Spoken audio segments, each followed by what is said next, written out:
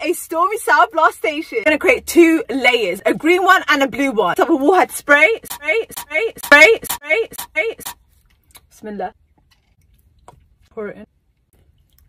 That's it. You know this was full. I was gonna pour some syrup into this. I'm gonna do something a bit different. This isn't very bluey though. Actually, it is a bit more more bluer than the other one. Should I add this one or should I add this one? Oh, I like this one more. Only to the top, only to the top. Okay, like that. Pour in our first layer like that. This is our second layer. I hope they don't mix. There is a clear separation as you guys can see. So we have two drinks, Boost, Citrus, and we have Mountain Dew Mystery Flavor. This is green by the way. Wow. I feel so bad drinking this. That, that looks like seaweed. Bismillah.